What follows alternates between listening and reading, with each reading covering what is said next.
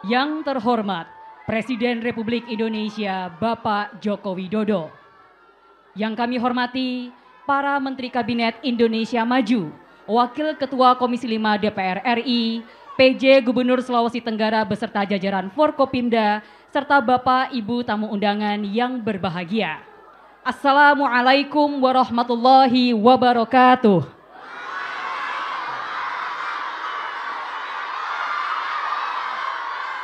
Selamat siang dan salam sejahtera bagi kita semua. Kami ucapkan selamat datang dalam acara peresmian Bendungan Ameroro di Kabupaten Konawe dan pembangunan infrastruktur kawasan strategis pariwisata nasional Wakatobi di Kabupaten Wakatobi, Provinsi Sulawesi Tenggara. Hadirin yang kami hormati, selanjutnya marilah kita simak bersama Sambutan Presiden Republik Indonesia dilanjutkan dengan penekanan totem sensor dan penandatanganan prasasti sebagai tanda peresmian Bendungan Ameroro dan pembangunan infrastruktur kawasan strategis pariwisata nasional Wakatobi. Bismillahirrahmanirrahim. Assalamualaikum warahmatullahi wabarakatuh.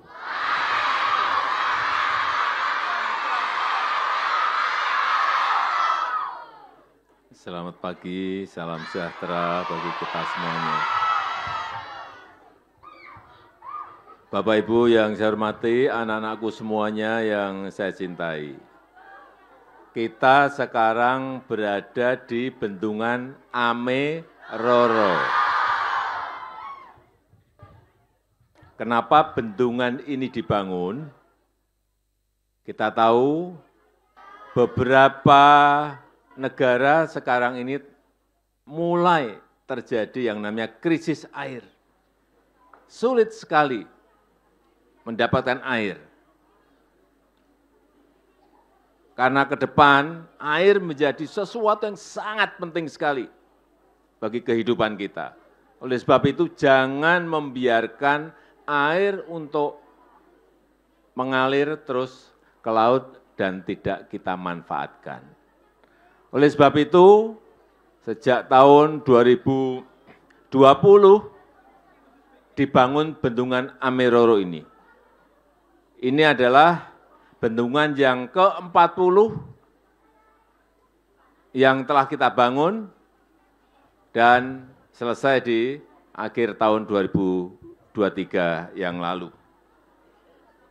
Dibangun dengan biaya 1,5 57 triliun, satu setengah triliun rupiah.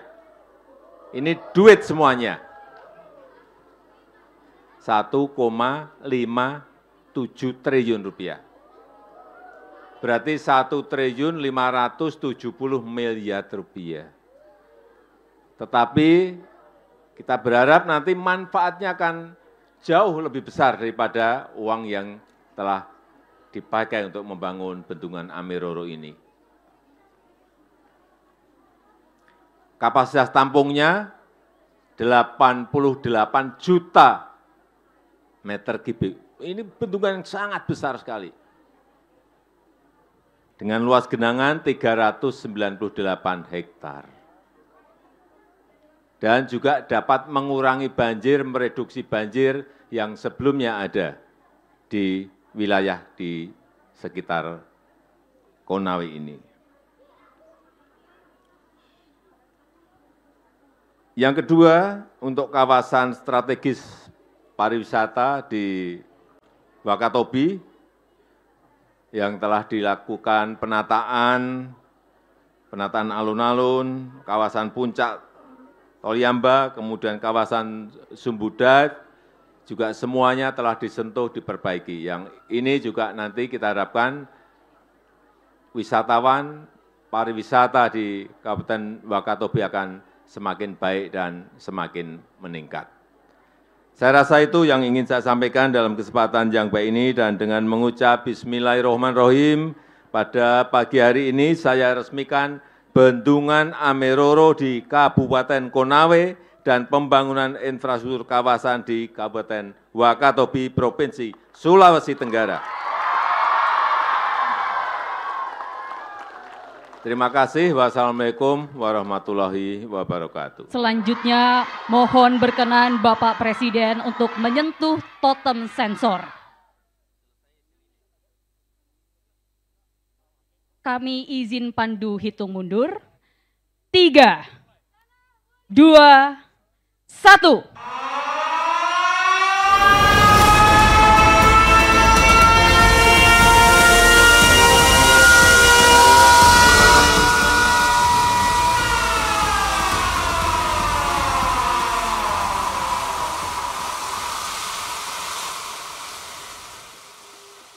Dengan demikian, Bendungan Ameroro dan pembangunan infrastruktur kawasan strategis pariwisata nasional Wakatobi telah diresmikan oleh Presiden Republik Indonesia.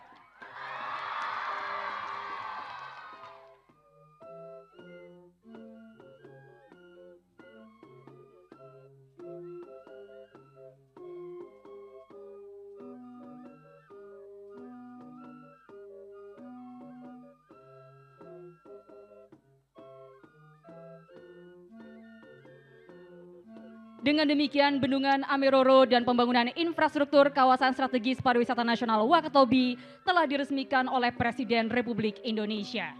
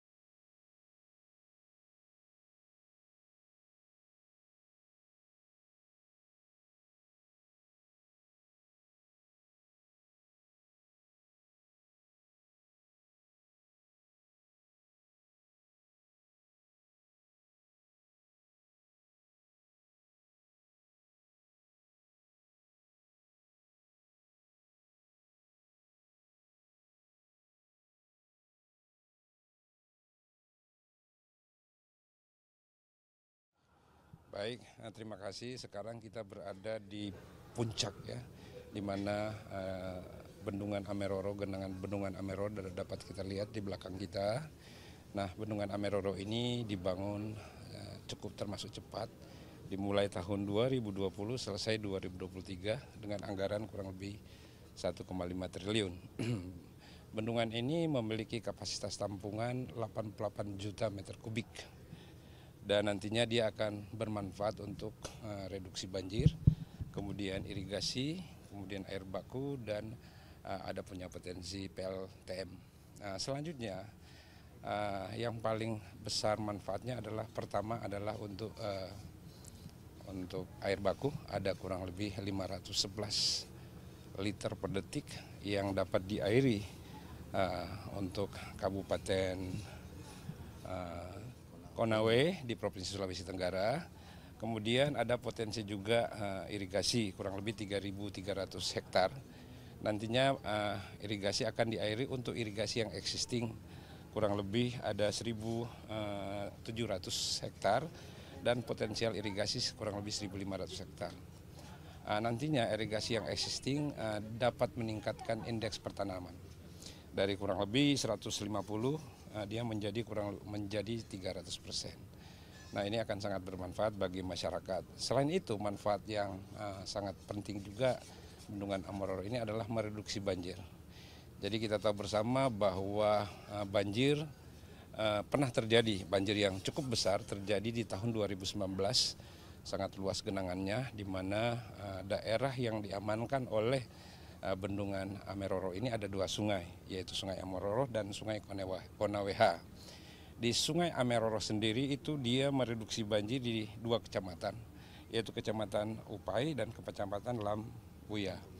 Uh, kemudian di uh, aliran Sungai Konaweha dia mereduksi banjir di enam kecamatan, yaitu Kecamatan Unaha, Kecamatan Wawotobi, Kecamatan uh, Wongeduku, dan Kecamatan Anggeberi, Kecamatan Konawe, dan Kecamatan Pon Didaha. Luasnya 5.800, kurang lebih 5.800 hektar. Jadi uh, cukup besar manfaat dari bendungan ini dan bendungan ini adalah bendungan yang diresmikan ke bendungan yang ke-40 diresmikan di uh, di uh, selama 10 tahun terakhir ini. Kemudian bendungan ini merupakan bendungan yang kedua ya, ya yang kedua di Sulawesi Tenggara yang uh, diresmikan oleh Bapak Presiden. Saya kira itu ya dapat saya sampaikan. Ya kendala pertama kendala yang biasa kita hadapi di dalam pembangunan bendungan pertama adalah masalah cuaca ya yang sekarang cuaca dengan adanya climate change sulit kita tebak kadang-kadang uh, diprediksi uh, terjadi kemarau tapi jadinya musim hujan. Sehingga uh, untuk pembangunan bendungan itu masalah cuaca itu harus apa namanya harus kita perhatikan karena menyangkut itu pembangunan tubuh bendungan. Tubuh bendungan itu karena dia timbunan tanah. Jadi tidak boleh kita melakukan penimbunan tanah pada saat hujan. Nah itu kendala yang dihadapi dalam proses pelaksanaan. Saya kira untuk kendala masalah tanah ya biasa kita hadapi Uh, namun sampai saat ini kita uh, telah melakukan pengisian bendungan dan bendungan ini saat ini sudah terisi kurang lebih 99 persen. Dari 88 juta tampungan uh, bendungan Ameroro sudah terisi kurang lebih 87 juta. Jadi kita tinggal 30 cm dia spill out di spillway. Artinya tinggal 30 cm bendungan ini sudah berada di kapasitas tampungan normal. Jadi saya kira ini termasuk bendungan yang termasuk yang diresmikan tahun 2004 yang sudah hampir penuh mencapai elevasi yang kita harapkan. Sebagai negara besar harus berani melangkah, harus berani memiliki agenda besar untuk kemajuan negara kita, untuk kemajuan bangsa.